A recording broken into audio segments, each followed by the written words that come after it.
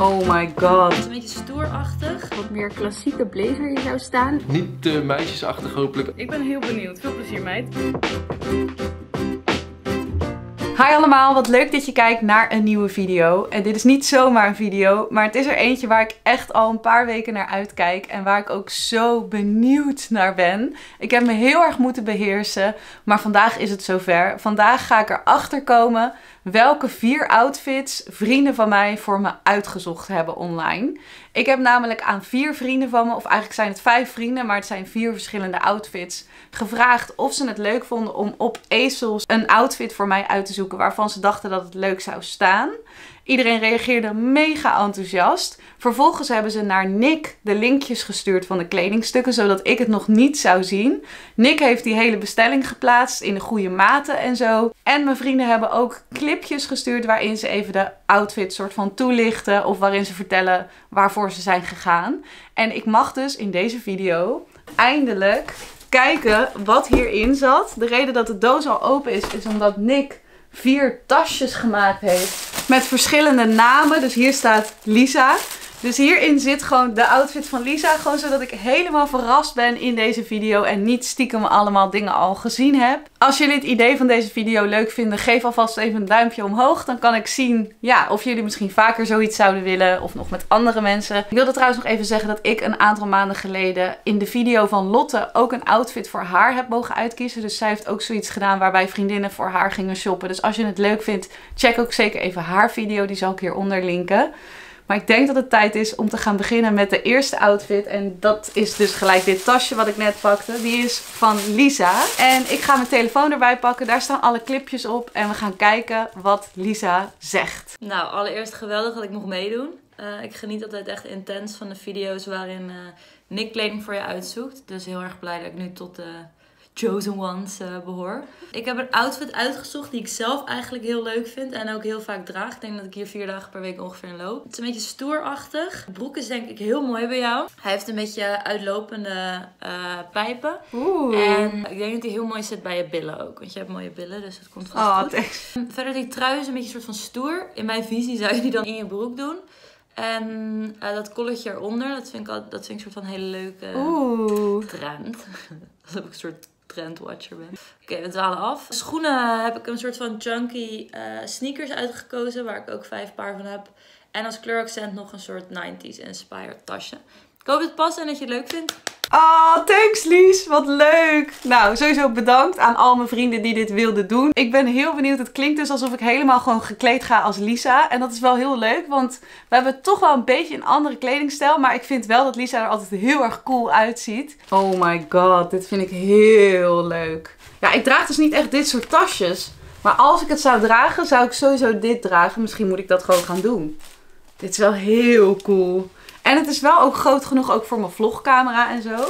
Dan hebben we hier het kolletje waar ze het over had. Oh mijn god! Ah, een dikkie strui. Dat is echt zoiets wat ik nooit zou dragen. Oh, zo, die voelt wel heel lekker aan zeg. Wel cool met dat kolletje eronder. Dan hebben we deze broek van Weekday. Ik ben een klein beetje bang, want Nick vroeg dus over mijn broekmaten. En hij zei dat deze broek er pas vanaf maat 28 was. En ik heb meestal 27. Dus ik ben bang dat deze misschien net te groot is. Maar goed, ik kan in ieder geval hem aandoen voor het idee van wat Lisa in haar gedachten had. En dan tot slot deze sneakers. Heel leuk. Ik heb best wel vergelijkbare ook zelf gehad. Maar die zijn helemaal een soort van afgetrapt inmiddels na een paar jaar. Dus misschien komt dit ook helemaal gewoon sowieso van pas. Ik ga nu de outfit aandoen en dan ga ik in de spiegel aan jullie laten zien hoe het staat. Jongens, kijk, ik heb het aan en ik voel me net Lisa. Ik ben net haar nu. Ik vind het echt zo'n leuke outfit. Ik uh, wil sowieso het kooltruitje houden, want ik wil er nog eentje. De trui, daar twijfel ik heel erg over. Want aan de ene kant denk ik van, ik ben die trui helemaal niet. Maar ik vind het me wel leuk staan. Dus dat is echt nog even een twijfelachtige. De broek vind ik geweldig. Het enige nadeel is, ik heb nu natuurlijk een hele dikke trui erin zitten. Maar als ik dat niet heb, dan is hij wel echt te wijd. Dus ik zit erover te denken om hem gewoon toch in een kleinere maat te kopen als die weer beschikbaar is. En de schoenen zijn gewoon ook helemaal geweldig en perfect. En het tasje eigenlijk ook. Alleen ik twijfel over het tasje nog of ik het echt ga gebruiken of niet. Maar misschien ook wel. Ik denk dat ik aan het eind van de video even een soort conclusie ga geven over wat ik nou hou en wat niet. Want het zijn best wel veel kledingstukken. Dus ik wil wel echt kritisch kijken wat ik denk te dragen en niet. Maar ik vind dat Lisa heel goed geslaagd is. Misschien als je dit leuk vindt, kan je in de comments van de vier outfits bijhouden wat jouw favoriete item is van de outfit. Dan gaan we nu naar de tweede outfit en die is van Sarah. Hey Bon, super leuk dat ik een outfit voor je mocht shoppen. En het leek mij heel erg leuk om te kijken hoe een wat meer klassieke blazer je zou staan. Ik zie je natuurlijk wel vaak in tweedelige pakken en zo. Maar volgens mij niet zo snel zo'n soort jasje. Dus ik dacht, ik wil het zien. Ik draag zelf heel graag zulke soort dingen. En ik heb wel gekozen voor een print en een kleur die denk ik heel erg bij jou passen. En die je ook wel heel leuk zal vinden. En dan heb ik er een top onder uitgekozen die denk ik helemaal jouw ding is. Maar die Nick waarschijnlijk helemaal niks vindt. Sorry Nick. Maar ja, daar ben ik dus wel heel benieuwd naar. En een toffe broek die je heel erg goed gaat staan, denk ik. Ja, ik ben benieuwd. Oh, kijk. Oh, wat leuk. Dit is het jasje en dit is inderdaad iets wat ik helemaal niet heb. En wat wel heel leuk bij Saar altijd staat. Ben heel benieuwd. Oh. dit is de top. Dit is inderdaad iets wat Nick echt verschrikkelijk zou vinden. Want hij houdt helemaal niet van die harige dingen. En dit is de broek die Saar heeft uitgekozen. En verder had ze naar Nick gestuurd dat ze graag wilde dat ik mijn gele Toms sandalen erbij draag. Mijn cat eye zonnebril. En deze gouden oorbellen. Want ik had gezegd dat iedereen ook gewoon dingen mocht combineren met uh, items die ik al heb. Ik vind het zo leuk bedacht van Saar. Echt leuk om te zien hoeveel moeite iedereen erin gestopt heeft. En hoe goed ze erover nagedacht hebben. Ik heb Sarah's outfit aan en ik ga helemaal stuk. Want ik zie er zo anders uit dan net. Het is weer zo'n andere outfit. Maar ook weer heel erg leuk. Ik vind het zo goed bedacht. Ik doe heel even mijn bril omhoog hoor. Maar ik vind het geheel echt perfect gestyled. En één ding springt er voor mij echt uit. En dat is het jasje. Ik vind het zo cool staan. Het is zeg maar iets wat best wel buiten mijn comfortzone ligt. Iets wat ik niet zo snel zou dragen. Maar juist door het patroontje en de kleuren is het toch wel heel Bonnie-achtig inderdaad. Dus ik denk dat ik deze echt ga houden. Ik zal even een topje laten zien wat eronder zit. ik vind het idee van een topje leuk, maar hij zit een beetje soort van heel strak om de borst. En daaronder flubbert hij juist een beetje. En bij de broek heb ik ook dat ik het wel gewoon een leuke broek vind. Alleen ik vind het bij mij niet zo heel leuk. Wat ik ook gek vind is dat erop staat dat het een mom jeans is. Terwijl die, ja misschien is het ook een beetje een kleine maat bij mij, maar... Hij zit wel echt heel erg strak. Het lijkt bijna een soort skinny jeans. Maar um, ik denk dat ik dit jasje sowieso ga houden. En dat ik er deze lente dan gewoon heel netjes en vrolijk tegelijkertijd uitzie. Echt super leuk, Saar. Thanks. Dan is het tijd voor de één na laatste outfit. En dat zijn de eerste twee mannen van deze video. Namelijk Bram en zijn vriend Jelle. En ik ben zo benieuwd wat zij hebben uitgekozen. Want ik heb een keertje kringloopkwartier met Bram opgenomen. En toen zei hij dat hij echt niks van mode wist. Alsnog had hij best wel een leuk outfit voor mij gescoord. Kijk nou hoe goed je het hebt gedaan. Oh, dat staat je best wel leuk. Ja, hè? Maar hij heeft er gewoon niet zoveel mee. Maar Jelle volgens mij wel. Dus ik ben benieuwd wat ze hebben gedaan. Want ze hebben het dus samen gedaan. Hey Bonnie, wij hebben een outfit voor je uitgezocht die lekker lenteachtig is. Of zomers misschien zelfs al. En het is lekker stoer, sportief. Niet te meisjesachtig hopelijk, ook wel vrouwelijk. En zoals je weet van onze kringloopkwartier aflevering vind ik het heel moeilijk om me voor te stellen hoe iets gaat staan bij jou. Maar gelukkig had ik heel veel hulp van Jelle. Van de dingen die we hebben uitgekozen denk ik dat het groene rokje het leukst gaat staan. Het was wel een beetje een risicootje, want ik denk niet dat iedereen het echt kan hebben. Maar jou staat natuurlijk alles, dus ik denk dat het wel goed komt. Succes! Oh, thanks. Ik ben zo benieuwd, vooral naar het groene rokje. Als eerste zie ik hier een doosje. Oh, een kettingje volgens mij. Dat draag ik dus echt nooit. Maar dat is wel zoiets wat ik vaker zou willen doen. Nice. Dit is het groene rokje. Oh, het is een soort overgooierachtig. Leuk zeg. Dit heb ik helemaal niet. En ik vind die kleur ook heel leuk. Oh. Mocht ik het nou helemaal niet kunnen stylen met dit, bedenk ik meteen, dan zou ik dit er ook nog af kunnen halen. En dat het gewoon alleen een rokje is. Want alleen al dit is zo leuk. Ik heb ook helemaal geen rokje in deze kleur. Maar goed, ik ga kijken wat ze in gedachten hadden hieronder. Oh, deze mooie witte top met van die pofmouwtjes. Het ziet er heel leuk uit. Ik denk dat het ook heel mooi staat met het groen van het rokje. Dit is ook weer zo'n andere outfit. En dan hebben we ook nog schoenen van Converse.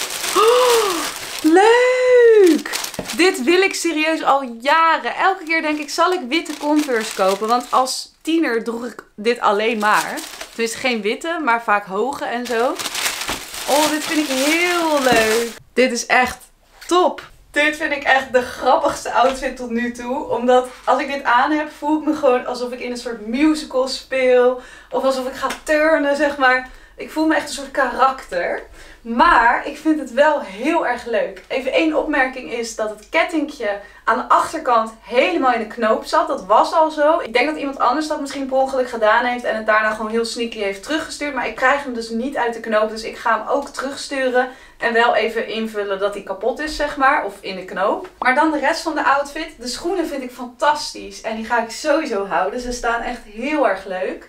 Dat rokje ga ik denk ik ook houden. Ik twijfel nog een beetje over deze dingetjes. Want ik vind het bij deze top niet zo heel mooi staan. Maar ik ga zo meteen even proberen als ik het met een ander wit shirt aandoe. Hoe het er dan uitziet. Want het kan ook gewoon precies door het model van dit topje komen. En het topje vind ik, ja het idee vind ik leuk. Maar in de praktijk vind ik het toch een beetje een naar stofje. En ik vind dat hij ook niet per se heel mooi zit bij mijn lichaam. Dus het topje ga ik sowieso terugsturen. Dit is hoe het eruit ziet met een ander wit shirt. En ik vind het dan eigenlijk gelijk al veel leuker zitten. Ik zit nog wel een klein beetje in dubio of ik deze dingen er nou aanlaat of niet. Je kan ze er heel makkelijk afhalen, dus dat is chill. Maar laat me vooral even weten wat jullie denken. Ik vind in ieder geval het onderste gedeelte heel erg leuk. En hij is ook niet te kort.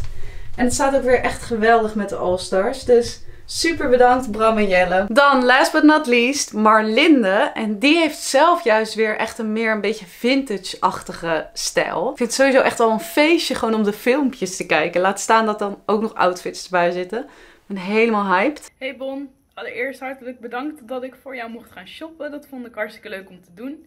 Ik had ook meteen allemaal wilde ideeën en plannen. Die heb ik allemaal moeten laten varen omdat ik niet kon vinden wat ik zocht. Of het was te duur, of het was uitverkocht, of niet in je maat. Dus ik heb uiteindelijk gewoon een broek uitgekozen.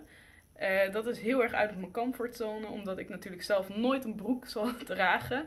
Maar omdat jij gewoon van die mooie lange benen hebt, dacht ik, als ik het voor mezelf niet koop, dan kan ik nu, heb mooi de kans om eindelijk een keer een coole broek voor iemand uit te zoeken. Dus ik hoop dat dat gelukt is. Ik dacht dat die kleur van de broek dus heel mooi zou staan bij de kleur van de trui. En de trui uh, kleur weer heel mooi bij de kleur van jouw haar. Dus ik heb er echt een diepe gedachte op losgelaten. Ik heb er nog, om het wat minder saai te maken, een uh, wit kraagje bij uitgekozen. Ik weet dat je vroeger ook zoiets had en dat je het toen heel leuk vond. Dus er is een kans dat je daar nu misschien helemaal van af bent. Maar ik vind het een toffe trend. En ik denk dat het tof staat bij de outfit. De zwarte riem. Want ik dacht dat zal cool staan als je je Dr. Martens erbij aandoet. En misschien nog een zwart baretje erbij. En je bent ready to go. Ik ben heel benieuwd. Veel plezier, meid. Ah, thanks lieverd. Wat leuk. En ik wil toch even zeggen, Marlinde, als je kijkt. Ik weet dat je bijna nooit broeken draagt, maar ik vind het bij jouw broeken super mooi ook staan. Oh, deze is zo leuk. Ik weet nu al dat ik deze ga houden. Echt zo'n leuk truitje. Wat fantastisch. Dit is het kraagje. Ja, het klopt inderdaad dat ik ook wel los kraagjes droeg. Ik heb er ook nog twee liggen. Alleen om een of andere reden trek ik het toch niet zo vaak aan. Dus wie weet krijg ik weer nieuwe kraagjesinspiratie door Marlinde. Dan hebben we hier de broek. Oh, wow. Het is echt zo'n hele nette, ja, soort van pantalonachtige broek. Kijk, hier zit ook nog een knoop aan de onderkant. Van Topshop is hij. Ik vind hem er eigenlijk heel cool uitzien. Ik ben super benieuwd hoe die zal staan. Ja, ik blijf maar zeggen, maar weer heel anders. Het zijn echt vier compleet verschillende outfits. Daar ga ik jullie zo nog een vraag over stellen. Je voelt hem al aankomen. Dit is de riem. Ik draag bijna nooit riemen. Dus vind ik ook juist weer leuk dat iemand dat voor mij heeft uitgekozen. En dan draag ik dus mijn eigen Dr. Martens en mijn barretje erbij. Ik wilde trouwens nog even zeggen dat ik alle items die je in deze video ziet hieronder zal linken. En dan zal ik er ook even bij typen welke maat ik had. Voor als je benieuwd bent. Nou, tot deze outfit was ik al helemaal impressed. En dacht ik, hoe leuk dat ik al van elke outfit iets ga houden. Maar deze outfit is zo goed gelukt ook. Ik denk serieus dat ik alles ga houden. Ik vind het zo leuk. Nou, de trui, dat zag ik al toen ik hem uitpakte. is helemaal iets voor mij. Is ook super lekker zacht. En ik vind hem gewoon geweldig. Het kraagje, ik vind het eigenlijk wel heel leuk staan. Ik ga nog heel even kijken hoe het staat met een paar andere truien die ik heb. Zodat ik het zeker weet dat ik hem zal dragen. De riem vind ik fantastisch. Maar ook die broek. Hij zit echt als gegoten. Ik vind hem echt heel erg leuk. Als je het dus leuk vindt, laat hieronder van elke outfit even achter wat je het leukste item vond. Maar als je dat te veel gedoe vindt of je vindt iets anders leuk, dan kan je misschien ook zeggen wie je vindt dat de leukste outfit heeft uitgekozen. Ik laat ze nu nog heel kort even zien en dan benoem ik even mijn conclusie. Van de eerste outfit heb ik de schoenen, het kooltruitje en het tasje gehouden en de broek besteld in een maat kleiner. Van de tweede outfit heb ik het jasje gehouden. Van de derde outfit de schoenen en het rokje.